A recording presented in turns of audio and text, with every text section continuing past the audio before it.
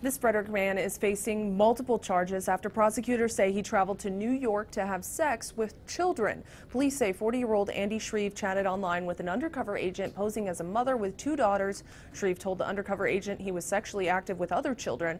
When he arrived in New York, police arrested him. He's now charged with traveling state lines for sex with minors and child pornography distribution. Right now, investigators are trying to track down any additional victims. Katie Johnston for WJZ.com.